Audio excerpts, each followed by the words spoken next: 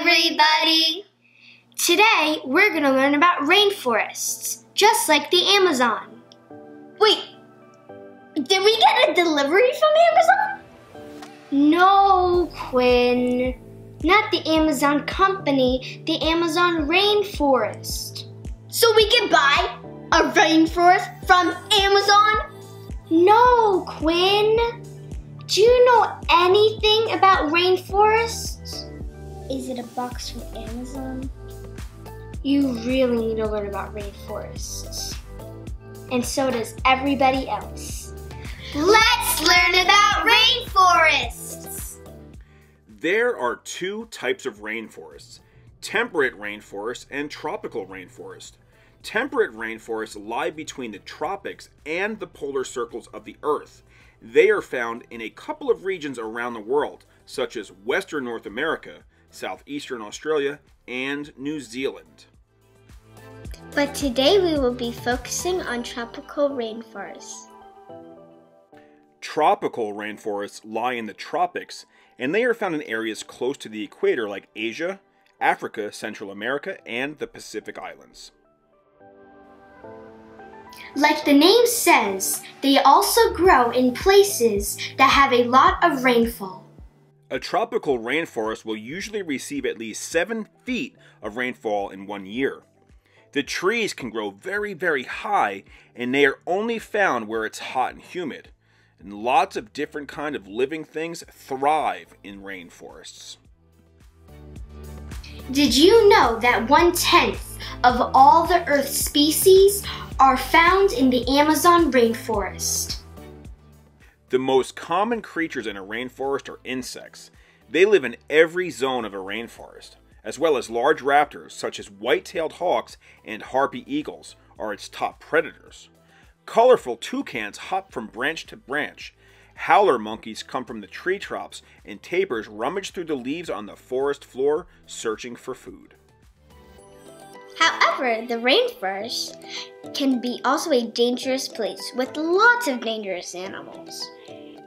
Jaguars prowl through the trees, and huge snakes called anacondas swim through the rivers and streams. You'll also find animals like the chimpanzee, gorillas, Indian cobras, orangutans, monkeys, leopards, parrots, and iguanas. Over a quarter of all natural medicines that we use have been discovered in rainforests. Rainforests are responsible for turning carbon dioxide into oxygen, keeping our atmosphere healthy. They do this because of all the plants and trees that grow in a rainforest. And if you look at the rainforest from a plane or a helicopter or a drone, it looks like a single huge group of trees. Hey, guess what? Did you know that the rainforests have different layers?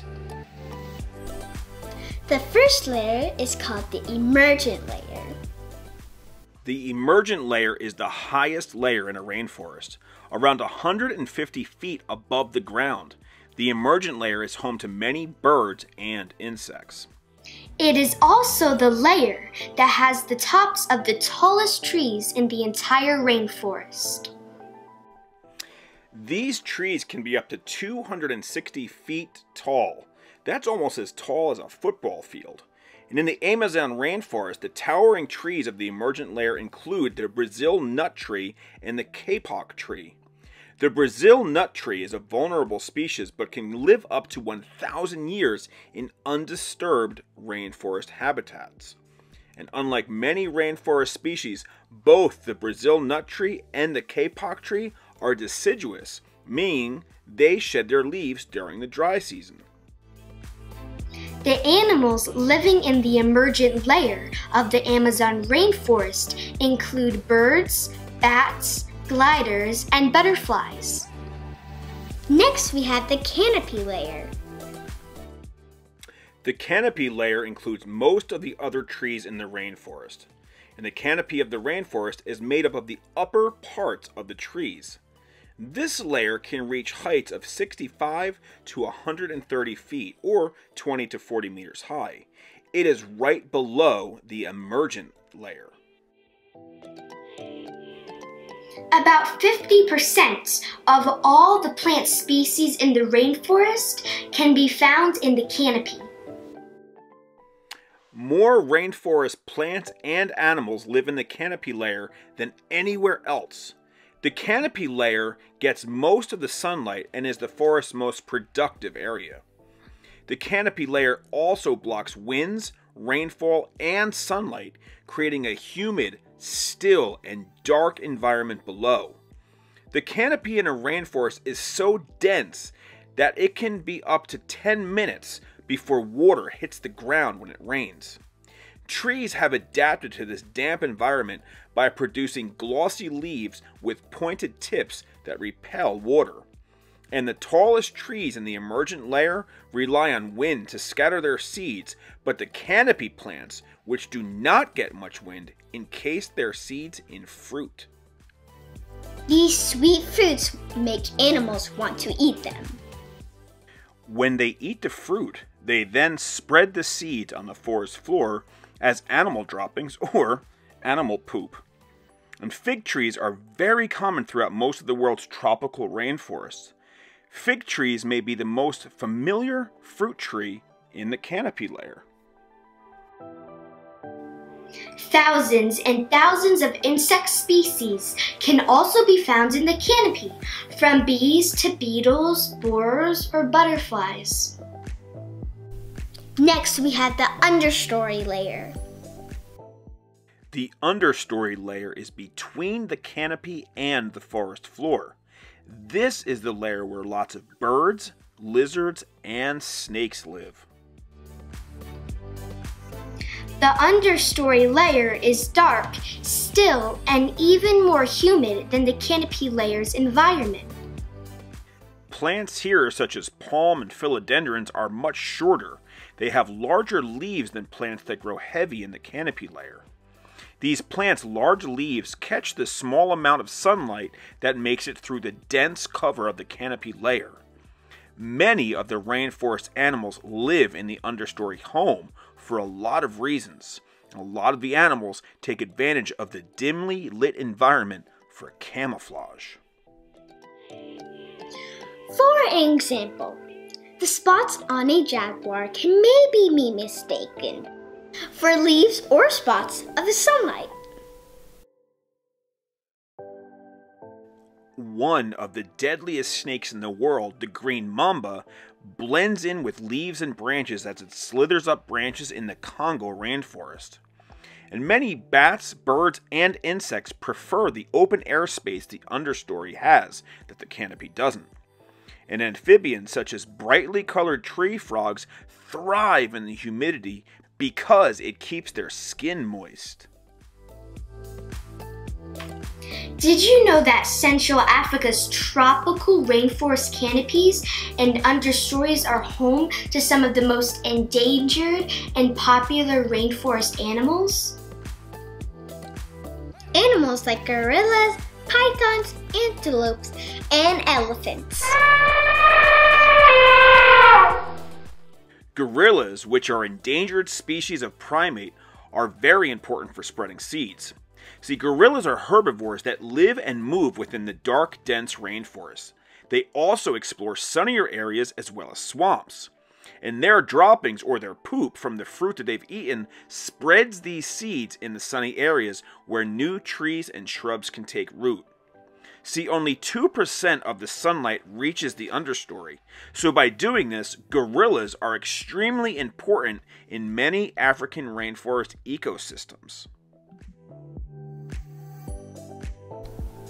Finally, we get to the forest floor layer.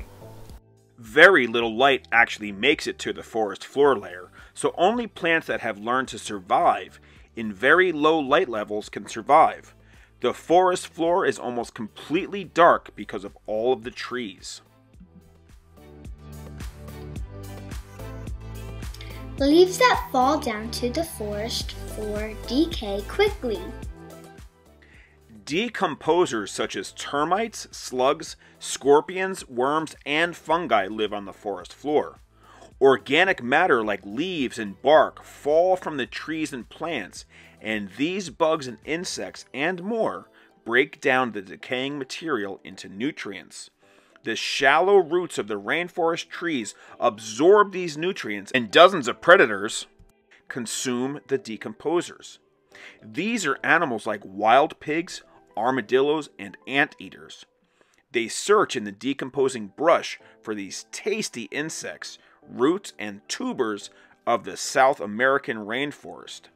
Even larger predators, including leopards, hide in the darkness to surprise their prey. As you can see, tropical rainforests contain more species of plants and animals than any other habitat. Many of them we have yet to even discover. Have you ever heard of the Amazon? And I don't mean it covers over 1.4 billion acres. Billion with a B. Whoa! Did you know that the Amazon rainforest is so big that if it were a country, it would be the ninth biggest country in the world? That is a ginormous forest. So, how do rainforests help us? Well, first, they keep us healthy. Would you believe that tropical rainforests are known as the largest drugstore in the world? Over 25% of the natural medicines that have been discovered come from rainforests. Around 70% of the plant species useful in cancer treatment are found only in the rainforests. Even with all the medicinal uses we've discovered in the rainforest, less than 1% of the plants in rainforests have actually been examined to see if they have any uses in other medicines as well. And what else could be out there to help sick people. Rainforests also create about 30 to 40% of the global oxygen that we use. Well, they seriously do keep us healthy with medicines, oxygen, and healthy food. Did you know that there are tribes of people living in the rainforest that have never had contact with the world outside of their villages? Did you know that rainforests are the oldest living ecosystem on our planet? Sadly, rainforests are being cut down very, very fast. Rainforests used to cover about 14% of the Earth's surface, but now they're disappearing. In fact, it is estimated that we lose about 80,000 acres of rainforest every single day. And some scientists believe that rainforests will not be able to survive for more than another 40 years or so if we continue to destroy them. Rainforests are very important to people, animals, insects, and the planet Earth. And now that you know more about them, you should let people know how important you think they are to you and your family. Hey, did you like this video? Hey, did you learn something new? Then don't forget to sub and smash that like button. And we'll see you on the next Hey, Guess What? Boom! Mom, I think Amazon delivered a box.